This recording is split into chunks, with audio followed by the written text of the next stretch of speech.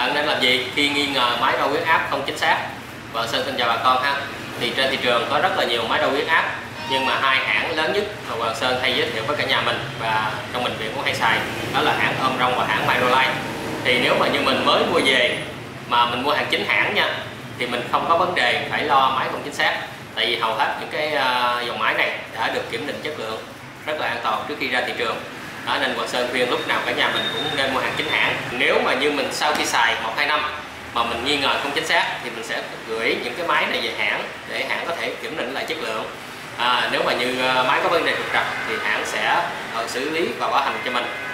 Rồi còn nếu mà như để mà xử lý một cách nhanh nhất có thể thì ờ, cả nhà mình khi đo thì mình sẽ kiểm tra lại bằng cách này.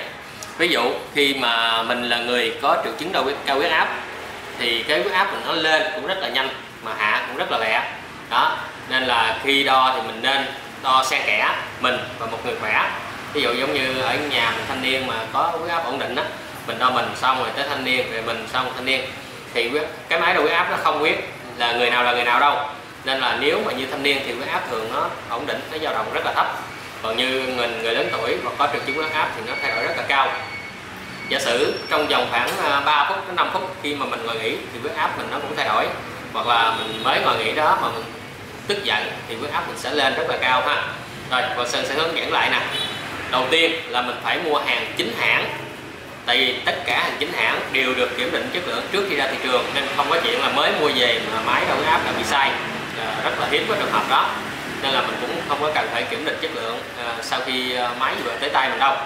Còn nếu mà mình xài một thời gian mà mình nghi ngờ hoặc là sau 2 năm thì mình có thể gửi lại hãng để kiểm tra còn nếu mà mình cần kiểm tra cấp thời đó thì mình nên đo so sánh giữa mình và một người thanh niên khỏe trong nhà ha. Rồi à, thì ngoài chức năng đo huyết áp mà những cái dòng cao cấp như thế này thì nó còn có thể kiểm tra uh, rung tâm nhĩ cảnh báo sớm đột quỵ như của hãng Myrolife và của hãng Omron này. Những dòng máy này thì uh, giá nó trên 2 triệu nó tới gần 3 triệu.